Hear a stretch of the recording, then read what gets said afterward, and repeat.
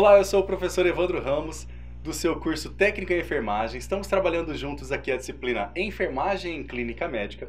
Nesta aula, vamos abordar um tema bastante importante, lá no item 10 do seu material, assistência e enfermagem em nefrologia, e trabalharemos nesta aula especificamente a síndrome nefrótica, ok? Você vai compreender então, vamos fazer uma breve revisão da anatomia e compreender e relembrar os aspectos da unidade funcional dos rins que são os néfrons, onde acontece literalmente a filtração glomerular e a produção de urina e reabsorção de nutrientes importantes para o nosso órgão corporal.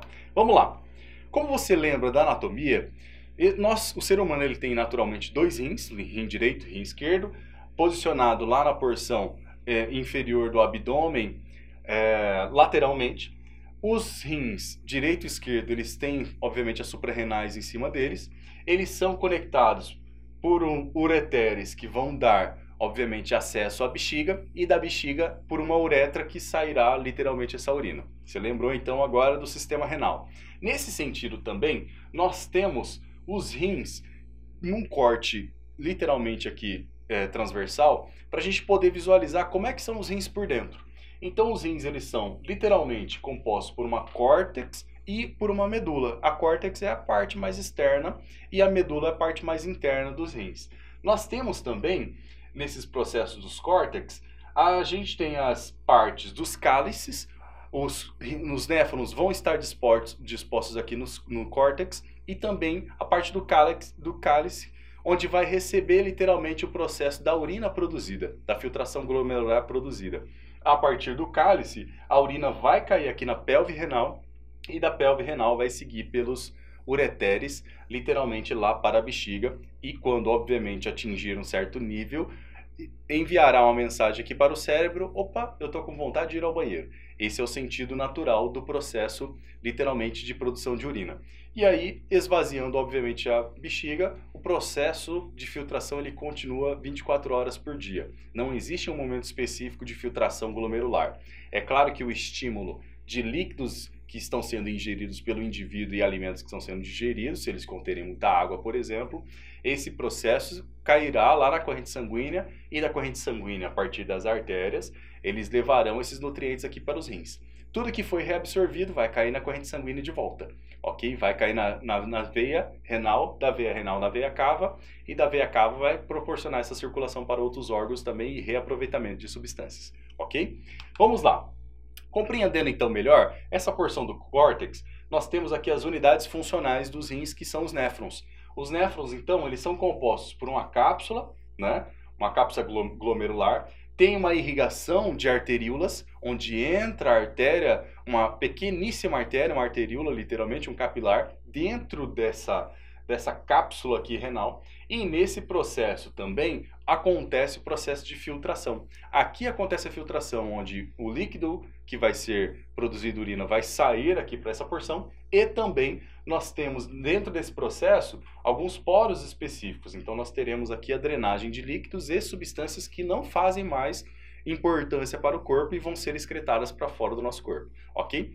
O que for importante, mesmo que tenha passado por aqui agora, nessa cápsula de Bowman, o que, que vai ser acontecido com o nosso corpo? Nosso corpo vai reaproveitar. Ele, antes de então de liberar na urina, ele aproveita ainda dentro do rim, nessa porção aqui maior, que são literalmente essas porções aqui dos néfrons. Então, temos aqui o túbulo contorcido proximal, o túbulo contorcido distal, e aí nós temos os túbulos coletores que vão coletar a urina. Então, nessas porções, literalmente aqui, nós teremos ainda a reabsorção de alguns nutrientes e também de água, ok? Então, tudo que for importante para o nosso corpo, o rim vai, obviamente, reabsorver. O que não for, vai produzir urina e eliminá-la lá em forma de urina. Então, nós temos aqui, só para a gente visualizar, entra numa artéria aferente o, o sangue com esses metabólitos todos, serão, obviamente, filtrados, cairão aqui no túbulo contorcido proximal e seguirão. Se precisar ser reabsorvidos, serão reabsorvidos. Se não, serão eliminados. Um exemplo bem claro dessa substância, a glicose. A glicose é um componente, uma substância importantíssima para o nosso corpo, porque todas as células precisam de glicose. Então, fim, os rins, eles terão como prioridade reabsorver a glicose. Porém, imagina agora um diabético com que tenha diabetes descontrolada está aí com um nível de glicemia muito alto. o rim não vai reabsorver, ok? E além de um processo patológico que pode acontecer também nos rins, o rim não vai conseguir filtrar e reabsorver esse processo. Então vai passar direto por esse processo de filtração, ok? E vai cair na urina. Por isso que um dos sintomas talvez é lado diabético em algumas situações é ter aí a eliminação de glicose pela urina, ok? Que chama de glicosúria. Vamos lá. Então, de maneira gráfica, para a gente visualizar de maneira animada, você consegue visualizar então a entrada de sangue, existe então nessa cápsula o processo de filtração e a eliminação de metabólitos e água que vão para os próximos túbulos ali dos néfrons e o que não for, obviamente, absorvido já voltará nesse processo dessa arteríola. E posteriormente, o que for reabsorvido passará a ser reabsorvido nas próximas porções. Então, professor, o que é a síndrome nefrótica depois dessa breve revisão do sistema renal? A síndrome nefrótica ela é uma doença glomerular, ok? Primária. E ela é caracterizada pelas seguintes situações.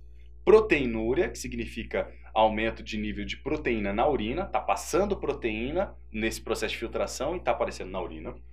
Hipoalbuminemia, então a produção baixa de albumina edema, ou seja, está tendo uma restrição literalmente de líquidos, está acumulando líquidos no corpo, então está tendo edema em algum lugar do corpo, e também um aumento na quantidade de lipídios, hiperlipidemia.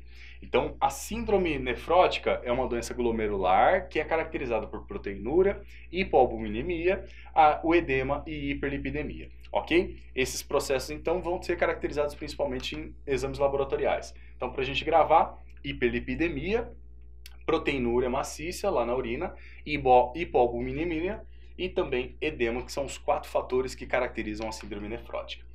Ela é caracterizada então pela perda de proteínas na urina, principalmente albumina, mas pode aparecer outras proteínas também. E por isso que nós vamos ter hipoalbuminemia, porque vou perder essa proteína e literalmente no corpo essa taxa vai estar tá baixa. Pode ocorrer em adultos, crianças e idosos. Então pode ocorrer em qualquer fase da vida. Quais são as causas, professor? Glomerulonefrite aguda, que é uma doença que você vai conhecer nas próximas aulas, diabetes, então o indivíduo diabético pode desenvolver a síndrome nefrótica, lúpus eritematoso, nos processos metabólicos também, e também outros tipos de processos hormonais podem desenvolver e contribuir para a síndrome nefrótica, mieloma múltiplo e também a trombose da veia renal, que pode acontecer. E nesse sentido, pode acontecer também a síndrome nefrótica. O que a pessoa sente, professor, de sinal e sintoma quando ela apresenta síndrome nefrótica. Edema é o principal fator, ok? Pode acontecer esse edema com formação de cacifo. O que, que é o cacifo? É quando eu tenho um edema muito grande, eu aperto com a palma digital de um dedo e fica um buraquinho literalmente ali. Não tem um retorno da massa muscular ou daquele local do edema. Ok? Então eu tenho uma, uma coleção muito grande de líquidos naquela região. Isso acontece geralmente em várias partes do corpo, principalmente tornozelos, é, pés e pode acontecer também na região sacral, ok? Onde pode acontecer esse edema aqui no caso da síndrome nefrótica? Edema periorbital, então em volta dos olhos, ok? Sacral, na região sacral, tornozelos, nas mãos, ok? E ainda podem acontecer outros sintomas como indisposição, cefaleia, irritabilidade e fadiga muscular.